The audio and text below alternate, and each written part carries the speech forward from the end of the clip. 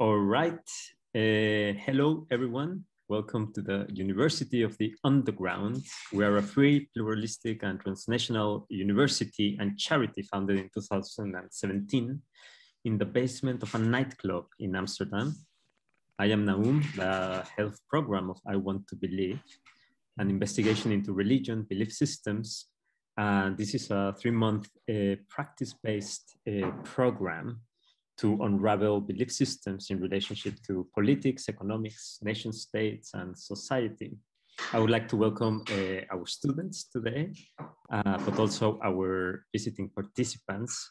Uh, and we kindly ask you if you could donate and support the existence of this program and many more to come. Just go to the website and of the university and there's a big button that says donate. So we're gonna do a, a 40 minute talk with our uh, incredible guest and then we'll have 15 to 20 minute Q&A. Uh, if you have any questions during the talk, just please type the question in the chat and at the end I will, I will call you. So today I'm very excited to present Dr. Samantha Rose Hill, um, who is uh, who well came to Bard in 2015 as a postdoctoral fellow at the Hannah Arendt Center for Politics and Humanities. Her research and teaching interests include critical theory, the Frankfurt School, aesthetic theory, and the history of political thought. Uh, Samantha is completing a manuscript of Hannah Arendt's poetry, which uh, has been edited and translated already into English into the Dark, the poems of Hannah Arendt. She's currently working on a monograph that explores the ethical dimensions, dimensions of melancholia. And also Samantha is currently- You have a very old biography of me, so I'm just gonna oh, step from okay. six years ago. I'm just gonna stop you. well, I'm, I, I already want to read that book of poetry. But well, Yes. So I'll Samantha. Just, I'll just say I'm the assistant director of the Hannah Arendt Center for Politics and Humanities at Bard College, visiting assistant professor, political studies, associate faculty at the Brooklyn Institute for Social Research. And I pop my head into the University of the Underground now and then, uh, very joyfully. Um, I just finished a biography of Hannah Arendt, which will be out this August, and I edited and translated her poems, which will be out um, next spring. So Thank you very much. I just I couldn't bear to listen to. I know same happens to me. You know, like like why someone is telling me about my kindergarten education. You know, like I've done many more things. But okay. All yours. It's wonderful. Uh, All right. Hi, everyone. It's such a pleasure to be here with you this morning. You're in such wonderful and capable hands. I'm jealous of you doing this program. Um, so I'm here today to talk to you a little bit about Hannah Arendt. I'm going to give you what I call the five minute biographical introduction to who she was, her life, and then I'm going to talk to you about her essay, Ideology and Terror. I'll give you a little bit of background information on the publication of the essay, and then walk you through what Hannah Arendt calls the recipe of ideologies. So, does that sound good to everyone? Okay. Cool. So Hannah Arendt was born in Linden, Hanover, Germany in 1906. When she was three years old, her family moved to Königsberg, uh, which was the capital of East Prussia at the time, because her father was dying uh, from syphilis. He died when she was seven years old, and she was raised by her mother, Martha Cohn. Her life was interrupted early on by the onset of the Great War. Her family was forced to relocate to Berlin, where she attended school for about a year, and then moved back to Königsberg with her mother.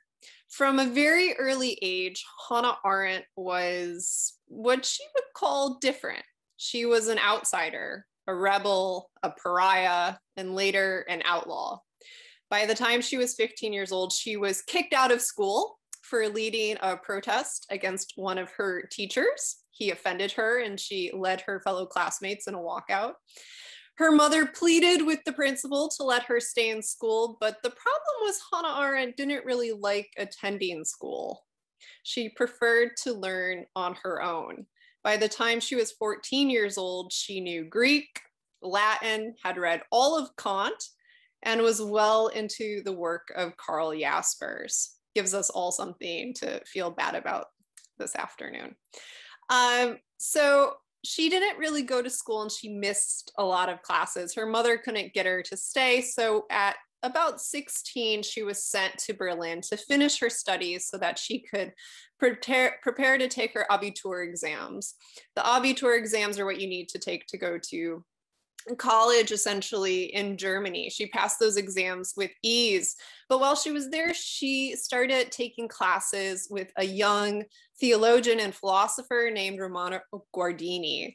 And he took a little bit of a different approach to the study of theology, combining classic philosophical text alongside language and poetry and literature. And that's where she really started to fall in love with the study of philosophy and theology.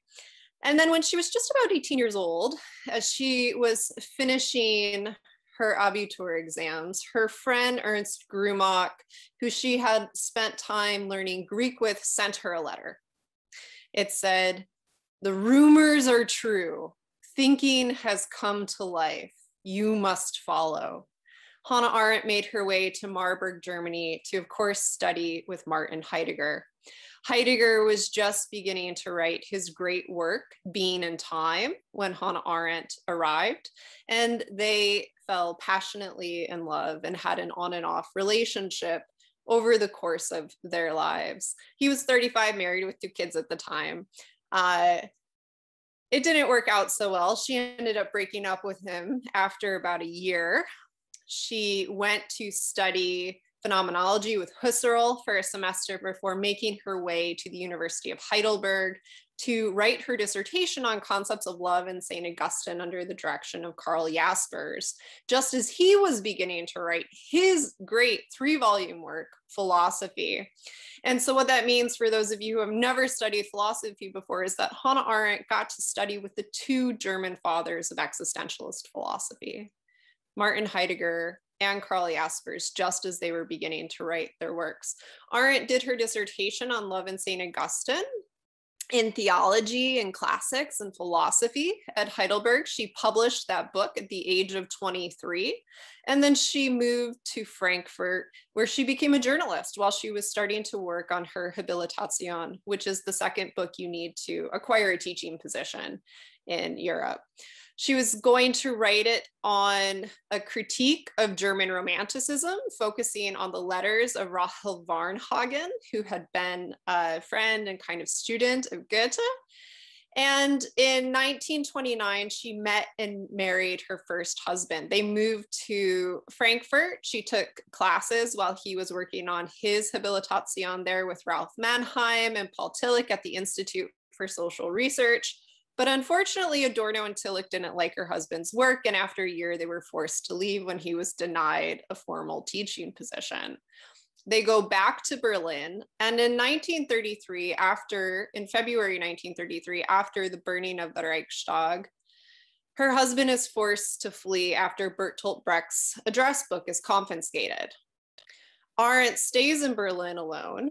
She decides that she has to leave the world of academic philosophy. She has to leave academia. She doesn't want anything to do with that milieu, she says. And she will only from then do political work and only Jewish work. She turns her apartment on Bultholzstrasse into a stop to help communists escape. And after a couple of months of doing research in the Prussian State Library at the request of her friends Hans Blumen, Kurt Blumenfeld she's arrested by the Gestapo. He had asked her to collect anti Semitic research statements to be sent to world leaders to let them know how bad things had actually gotten in Germany at the time. After a couple of months of doing this, she was arrested walking out the front door of the Prussian State Library one afternoon, going to meet her mother for lunch. A librarian had reported her, asking, What use does an academic have with so many newspapers? She's held by the Gestapo for eight days. She is in her own account, essentially released because she was able to flirt her way out of the situation. The young guard had taken a liking to her. And the day after she was released, she fled through Prague, through Switzerland to Paris, where she spent eight and a half years working for a couple of different Zionist organizations, helping Jewish youth escape to then Palestine. In 1935, she went with a group of children to Palestine. She was helping to prepare them to live on kibbutzim on the land.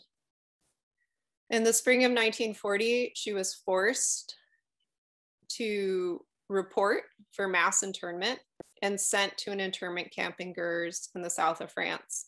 By then, she had divorced her first husband, met and married her second husband, Heinrich Blücher, who had been a part of the Spartacus League in Berlin.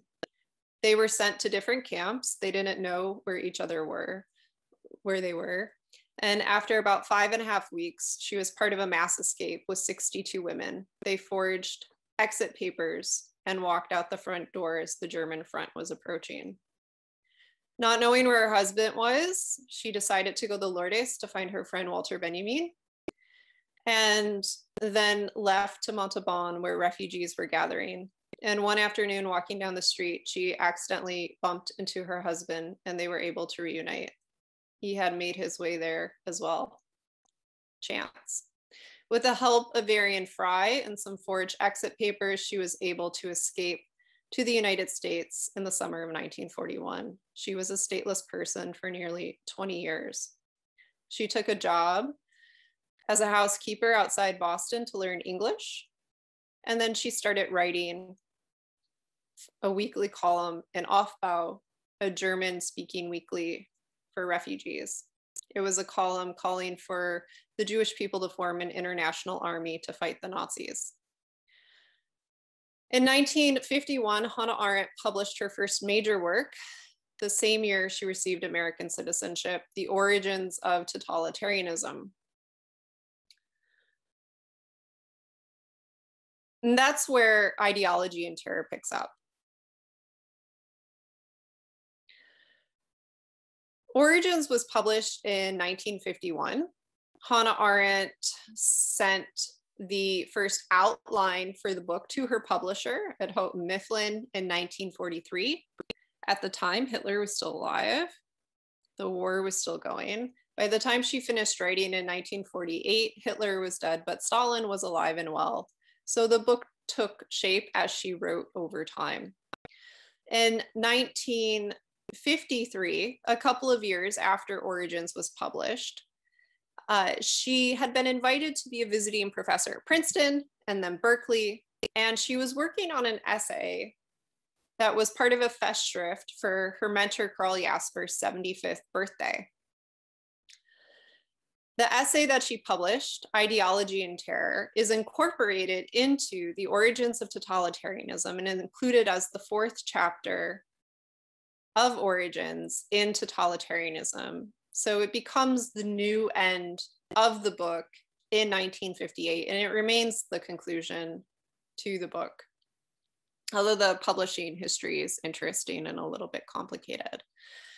But Arendt is writing this essay on ideology and terror after she publishes Origins while she's at work on her next book, The Human Condition. The Human Condition was meant to be a study of Karl Marx, so, just for context, she's writing a book on Karl Marx at the height of McCarthyism in America while lecturing at Princeton and Berkeley.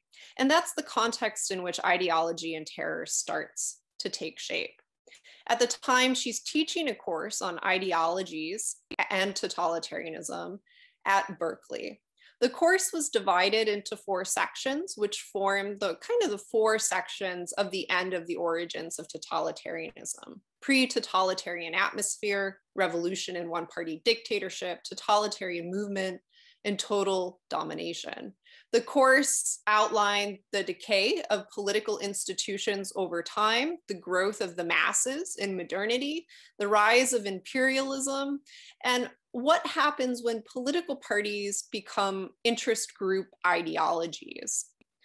So Arendt wanted to look at the ways in which political opinions and social discourse are replaced by ideologies over time alongside the collapse of existent political institutions. For her, ideologies are isms, and isms attempt to provide a simple explanation for a complex set of social, economic, and political problems. So when I'm introducing this book, if I'm teaching a class on this book, I always say Origins is this 500 page book. It's written in three sections, which are essentially three books anti Semitism, imperialism, and totalitarianism. So, as Arendt was working on the book, it changed over time to reflect the new information that was becoming available about Hitler and Stalin as it emerged from Europe. And so when she published it initially in 1951, she ends on reflecting on the note that even if totalitarian regimes disappear from the world, the elements of totalitarianism will continue to exist within society. And she says totalitarian solutions may well survive the fall of totalitarian regimes in the form of strong temptations, which will come up whenever it seems impossible to alleviate political, social, or economic misery in a manner worthy of man. And then when she adds ideology and terror, which is what you read, the whole tenor of the conclusion changes. And the elements of totalitarianism, which are numerous, the decline of the nation state, the rise of imperialism and colonialism, the privatization of public institution, the rise of the masses, the relationship between the elite and the mob. She goes through all of these in the text, but when she comes to this new conclusion, she argues that it is loneliness that is the essence of totalitarian government. Loneliness is the common ground of terror. All right, so Arendt is very attentive to language in her writing. So when she uses the word loneliness, she doesn't mean what we probably mean when we say, I feel lonely. She doesn't really offer us an affective account of the feeling of loneliness. What she's doing is trying to understand loneliness as part of the human condition as a political term. So she's going to talk about what she calls organized loneliness. And organized loneliness is a form of political loneliness, which has a relationship to the affective experience of loneliness, but it means something a little bit different. So she's going to draw a set of conceptual distinctions between isolation, loneliness, and solitude in that order. The word that she uses for loneliness is Verlassenheit. It's a German word, and it means literally abandonness. It's a sense of kind of abandonness in the world. The word she uses for solitude, which might normally be used for loneliness, is Einsamkeit, which means a kind of oneness with the self. So she's drawing the set of conceptual distinctions to show how the personal experience of loneliness is mobilized by totalitarianism through ideology. And she spends the first part of ideology and terror breaking down what she calls the recipe of ideologies to show how ideology is connected to isolation and loneliness. So she's going to argue that levels of loneliness rise alongside the breakdown of political institutions and social traditions over time. And the consequent feelings of rootlessness and superfluous that follow make people vulnerable to ideology, which offers a simple solution to their miseries. Right. So, whereas loneliness was once what she says a borderline experience suffered in response to certain conditions like old age, she says, loneliness has become an everyday experience of the masses. And totalitarian domination as a new form of government bases itself on the experience of loneliness, on the experience of not belonging to the world at all. So, what she's saying there is that when people feel like they're not rooted, when fe- people feel existentially homeless, when they feel rootless in the world, when they feel cut off from themselves and others, they are vulnerable to ideology. And so she's going to break that down more. So she wants to work through what each of these are ideology, isolation, loneliness, and solitude. What is an ideology? For Hannah Arendt, the one sentence definition of ideology is ideologies are isms.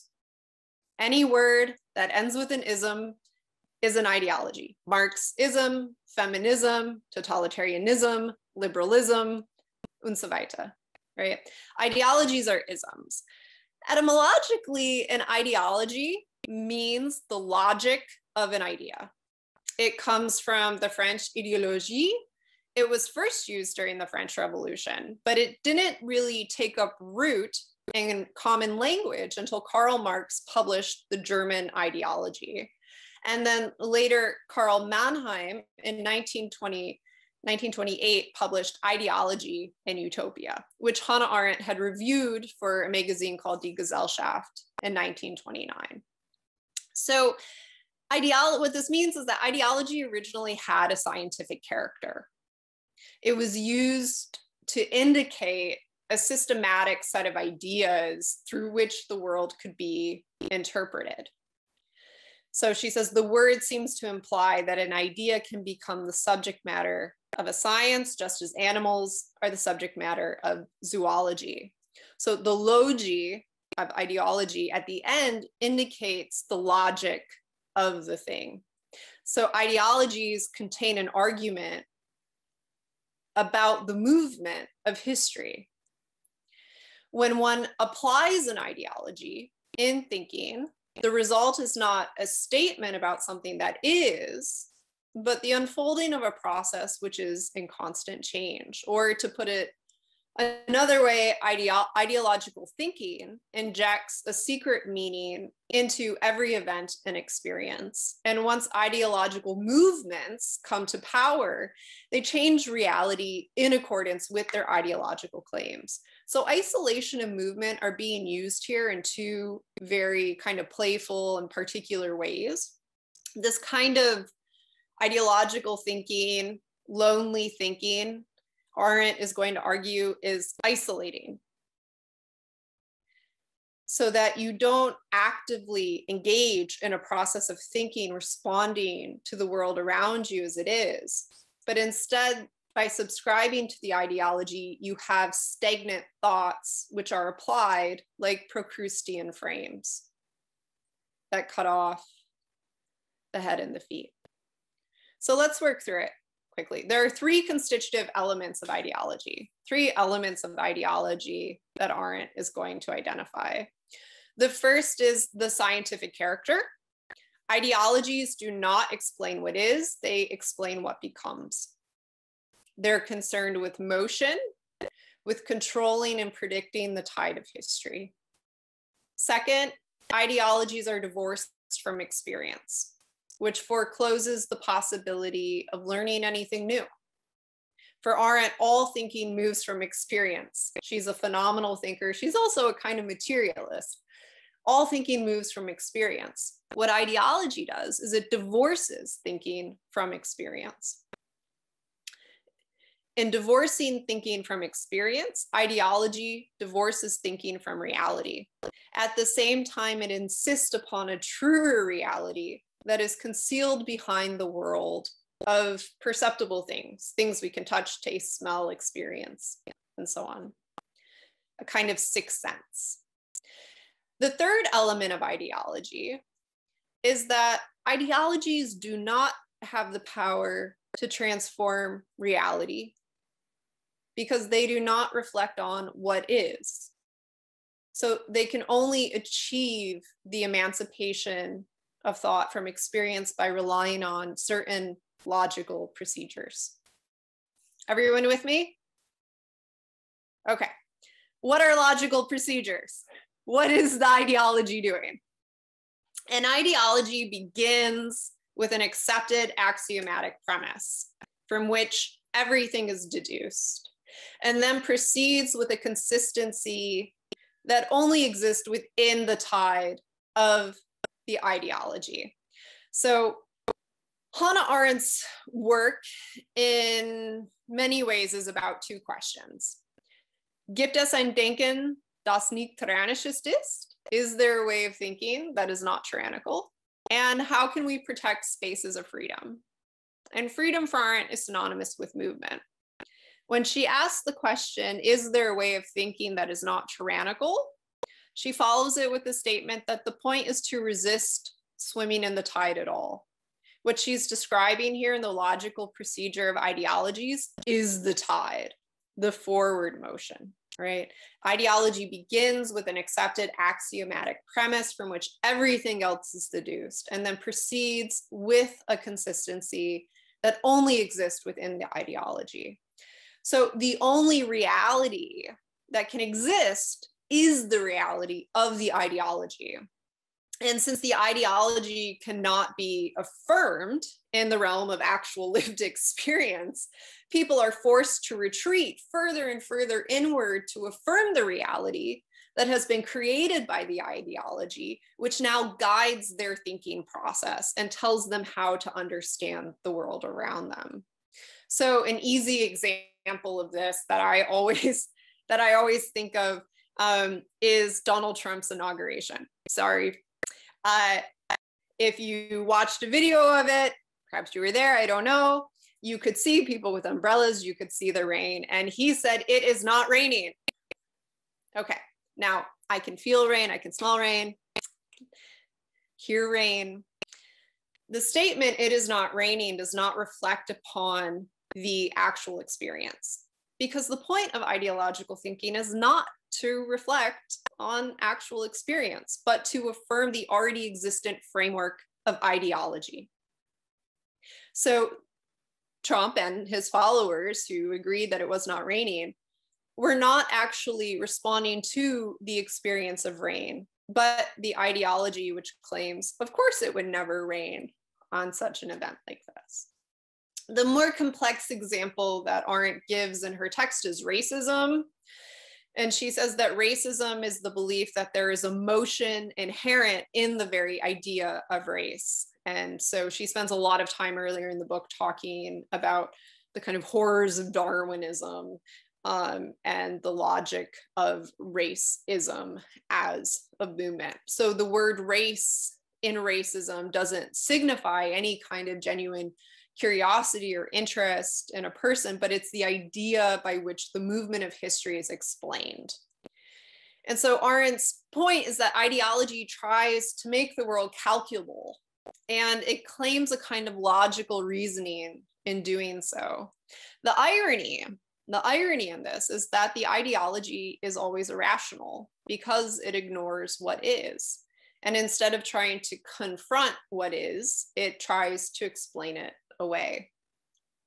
So, Arendt's fundamental point is that ideological thinking turns us away from the world of lived experience.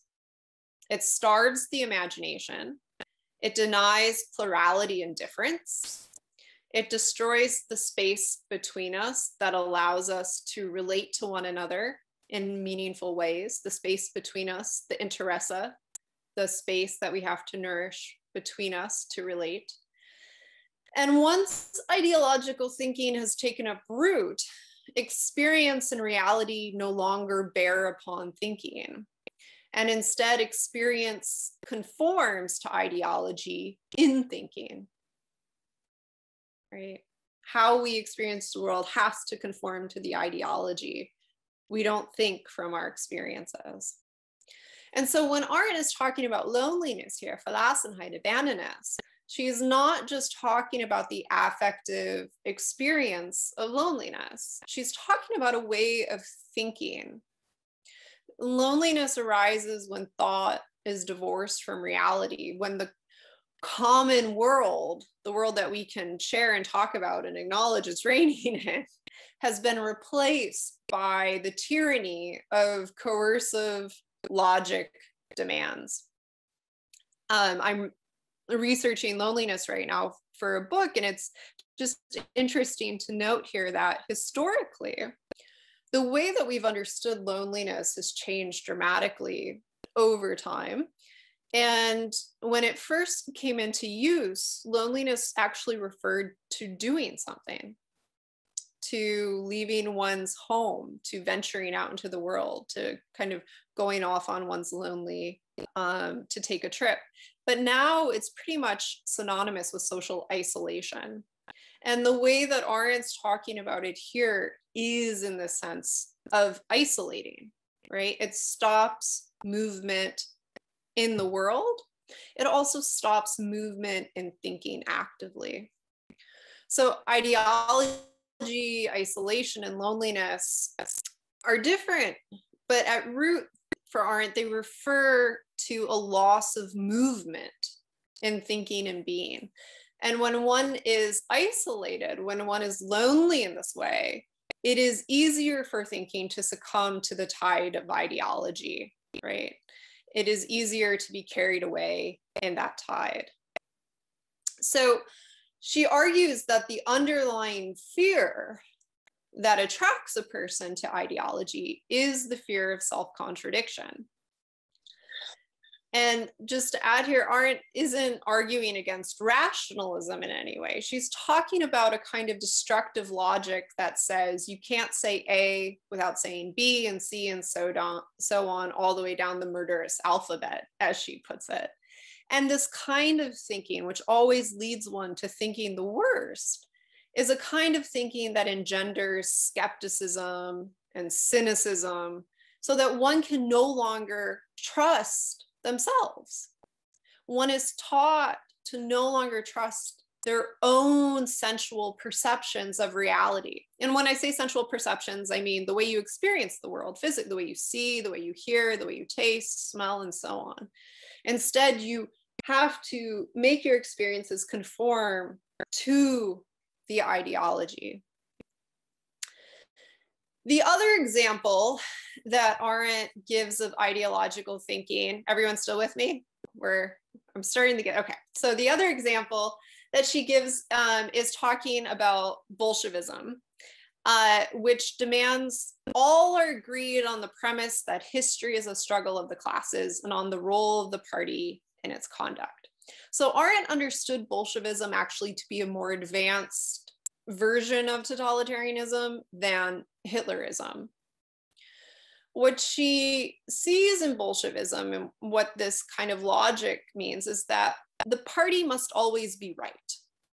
The party must always be right. And this form of logic is expressed in the words of Trotsky, who she cites, who says, We can only be right with and by the party, for hi- history has provided no other way of being right in accordance with the laws of history, then, crimes will be committed against the party, which the party must then punish in order to keep within the laws of history. And in order for there to be crimes, there have to be criminals. And the party may know what the crimes are, but they may not know who the criminals are. And so it becomes more important to punish the crimes than the criminals. Okay. And everybody is suspect, and anybody can be guilty of a crime. And this is part of the totalizing nature of totalitarianism and the way she's thinking about loneliness as this radical isolation and atomization of the self, where you live in a constant state of total terror, where no one is exempt at a certain point, Hitler becomes irrelevant. Stalin becomes irrelevant. It's about the movement. Everything is about the movement. It's about the party. It's about where it's going. And the individual heads don't really matter so much because what matters is maintaining the momentum of the movement. So, this kind of tyrannical ideological thinking destroys spontaneity. It is fundamentally anti human because it negates our ability to speak, and our ability to act freely in the world. At the same time, it creates an atmosphere of absolute terror with the threat of violence. And when one submits to the tyranny of this kind of ideological thinking, they surrender their inner freedom to think. The compulsion of terror she describes it as the compulsion of terror that presses masses of isolated people together and supports them in a world that has become a wilderness so that every person lives in fear not only of everybody else, but of themselves. Because the totalitarian ideology has destroyed not just people's ability to have relationships in the world with others, it destroys one's relationship with oneself. It destroys one's ability to think. And the submission to the force of this kind of ideological thinking, these kinds of logical deductions, prepares each person in his lonely isolation, she says, for tyranny. So, what does that mean? It means that totalitarian movements, ideological movements, use the rhetoric and propaganda of ideology to systematically destroy people's relationships with reality so that they can no longer tell what's true and what's false, so that they can no longer trust themselves or anybody else. And then at the same time, it says, ah, we have the solution. Yes, there are all these problems, and this is who we blame, and this is how you can be part of the solution. So, the other side of loneliness, and I'll just finish up here because I know we're at about 40, is that is solitude. Solitude is the pleasurable state of keeping company with oneself, which is necessary for thinking. To be able to engage oneself in a conversation with oneself, to tell a story about the experiences you've had in the world, requires that you can be alone with yourself. Unlike lonely thinking and organized loneliness, where a person feels deserted by all human companionship, where a person is unable to act, to speak, to act spontaneously, to tell a story, to create meaning, to form meaningful relationships with others.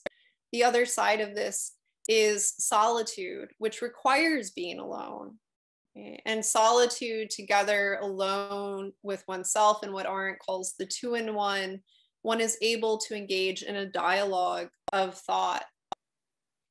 As people, we exist in relationship to one another. This is the fundamental condition of the human condition, plurality. We exist with one another.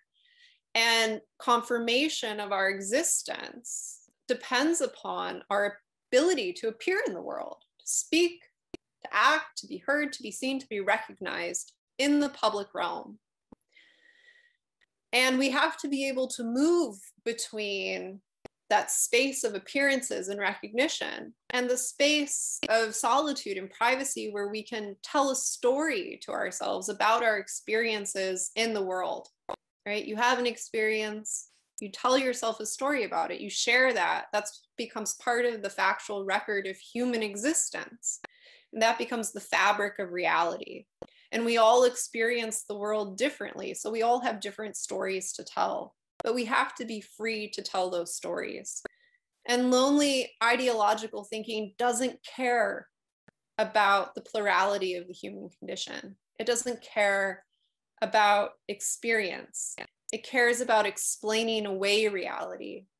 It tries to explain away the plurality of the human condition the messiness of life, as we might think of it. For ideological thinking, there is an end. There's an end in history, there's an end in thinking. Everything is moving towards some fatalistic, predetermined end. But Arendt rejects this tragic frame. And at the end of her work, she turns in a oddly hopeful note in an otherwise despairing book to Augustine to say that every end in history necessarily contains a new beginning. So just as every end contains a new beginning, there can be no end in thinking because all thinking has to move from experience in the world and thinking can only cease with the breath.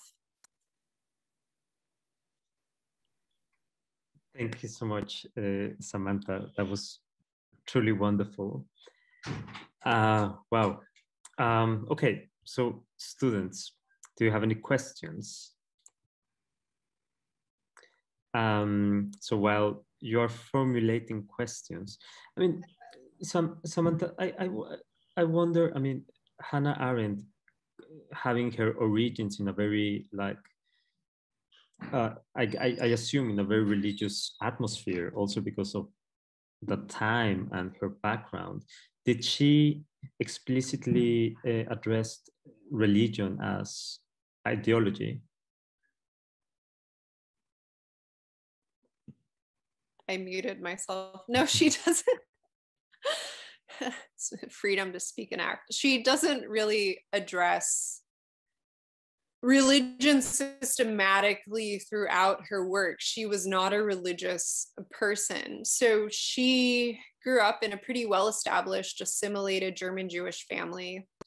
Um, but she didn't even kind of learned she was Jewish until she experienced anti Semitism at school. A classmate told her that she was responsible for the death of Jesus Christ. And she went home and told her mother.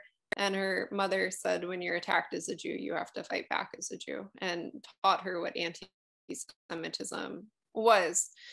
And at the time, though, like every other German school child, she was forced to attend Sunday school a Christian Sunday school. Um, and at the same time, her parents insisted on sending her to synagogue on Saturdays. And after her father died, she spent some time doing a kind of private study with their rabbi, uh, but it didn't last for very long.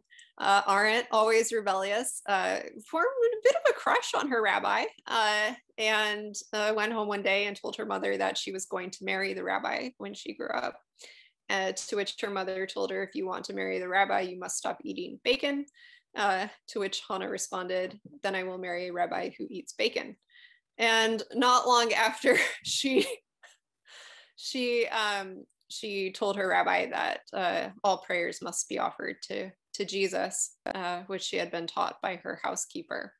But the thing is, Arendt studied theology, right? She studied theology and philosophy, but she was re- reading theology as a philosopher. So when she published her first book on concepts of love and St. Augustine, which is mostly about caritas and ways of finding a kind of political love, solidarity in the world, a way to relate to one another.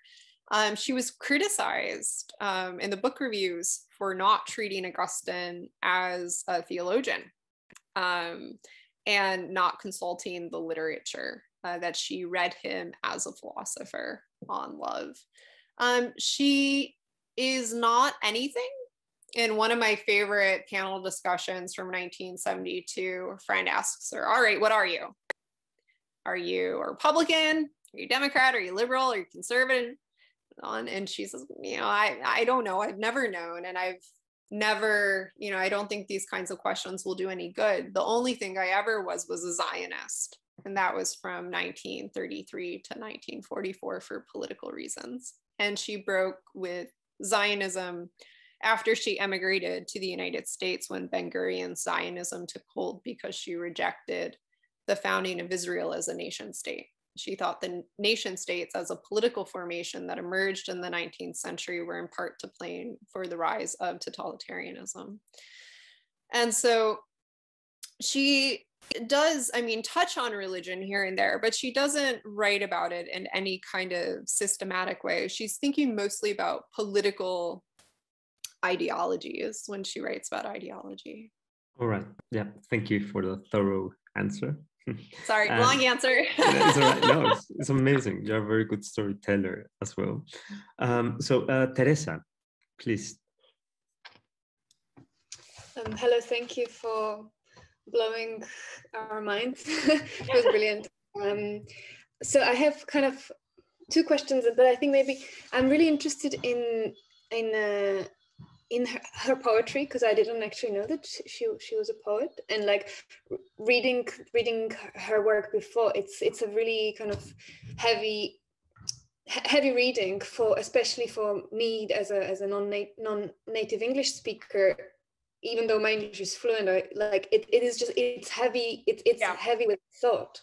And I kind of wonder how this um, how does her poetry um, yeah how does it read? How does is it full of those heavy thoughts? But or and also interested in like if that poetry is somehow related to especially the relationship with Heidegger because he wrote his philosophy was on the other hand very kind quite poetic and and um, I mean at least the ones that I've written so I've read. So yeah thank you. Yeah, know uh, wonderful question. So Hannah Arendt uh, wrote 74 poems between 1923 and 1961 uh, there's a 16 year gap in the poems we have during the interwar years the first poems that she wrote were written for Martin Heidegger. And she started writing them shortly after she went to study with him. A number of them were enclosed in her correspondence to him. If you pick up their correspondence, you'll see some of his poems to her and a couple of hers. He didn't keep her letters though. Um, the early poems are mostly written imitating the style of German Romanticism. Sehen wir uns wieder, wenn blutweiße Flieder, ich hatte kein Kissen, du sollst nicht mehr missen. We'll see each other soon when white lilacs bloom. I'll cover you with kisses. Nothing shall miss us. Might be one rendition of that if we were to keep the rhyme scheme. One verse, but very playful. Um, the quality of the poems varies, but of course, that also varies depending upon one's aesthetic judgment. Uh, the first poem that she writes um, after the 16 year break is for Walter Benjamin, after she goes to find his grave in Portbou, uh, which she could not find. Um, and then a lot of the later poems are written free verse um, and reflecting on the post-war landscape. So the way that I've approached the poems is as a kind of secondary biographical text. They're markers of different travels, um, relationships. There's a poem for Hermann um, and there's a poem about her husband. There's a poem about visiting France for the first time after the war, another about Germany one of the i think interesting interesting um, parts of the poems is that she's also working through certain ideas that do become part of text like the human condition so when there's a section in the human condition when she's talking about the work of poetry and and what poems do as records of, of human existence.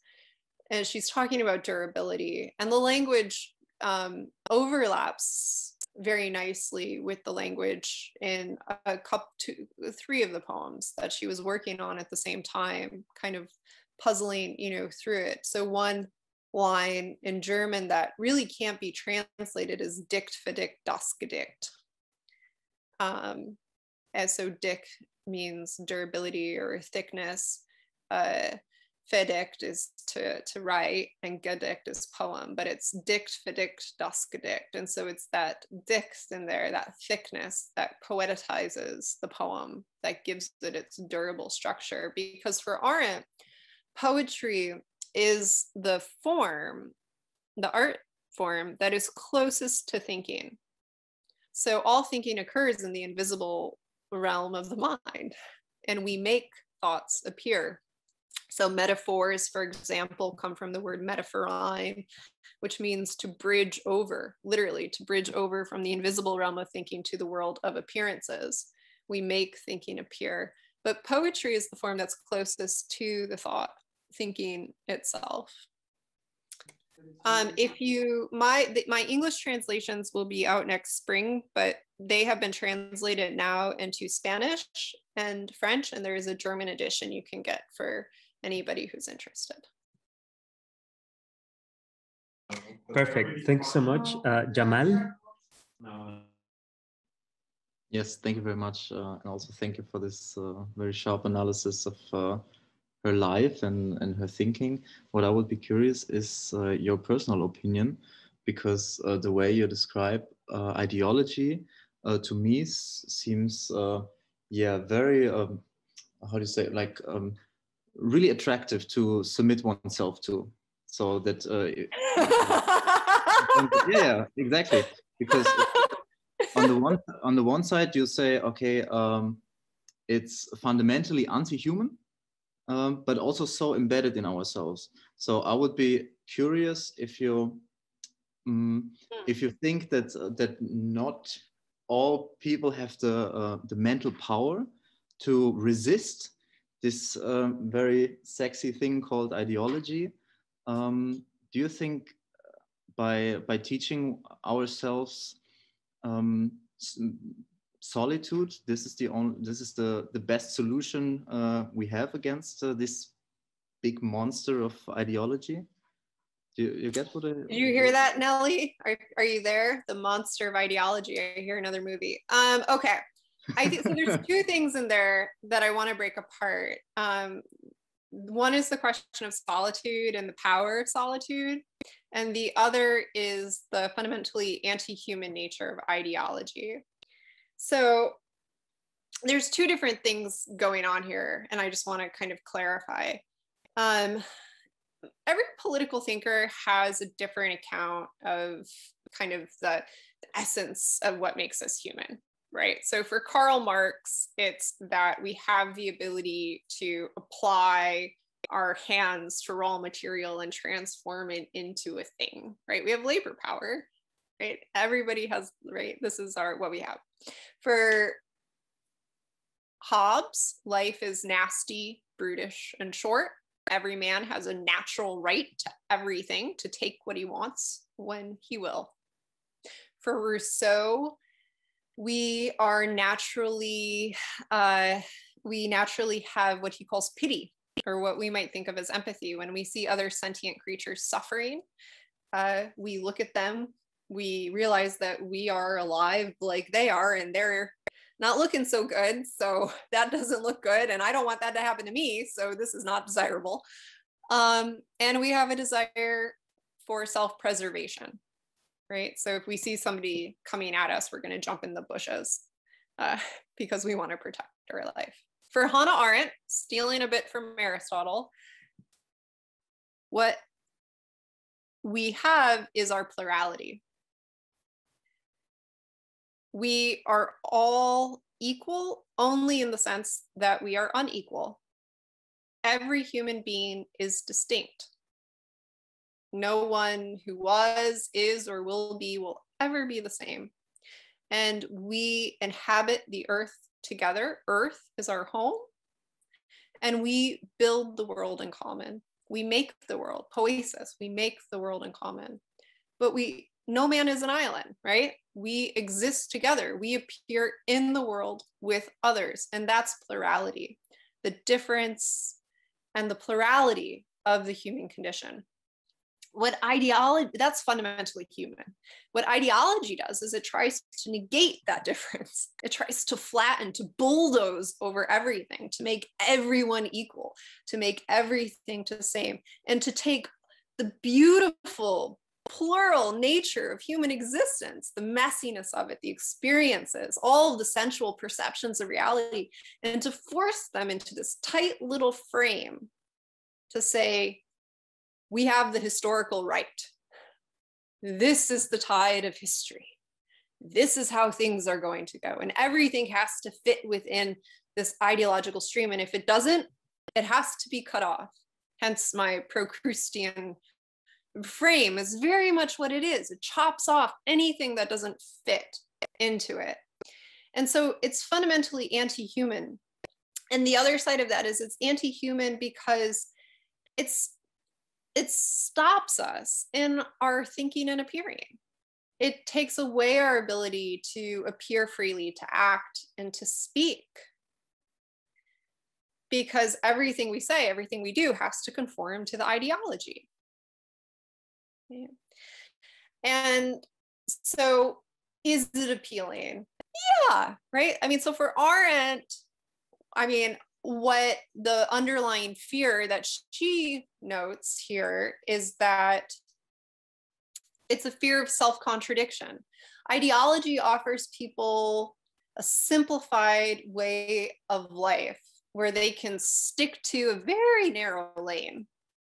That phrase has taken on a lot of meaning this day, but I just meant it in the in the tide sense. So you could use it in that sense too.